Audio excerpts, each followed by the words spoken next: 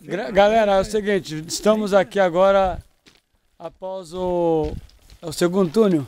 É o, é o túnel É, esse, é o, esse é o túnel 1. esse é o túnel 1, Um, então é vamos agora ao lado histórico desse túnel. Bom, esse daqui é a, a boca 1 do túnel 1.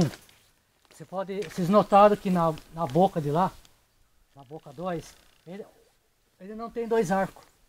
Esse daqui tem dois arcos.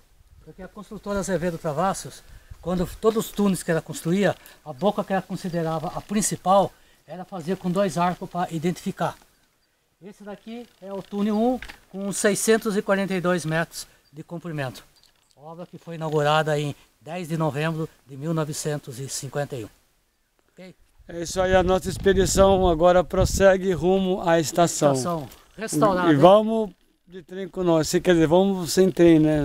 Com nós. para tu.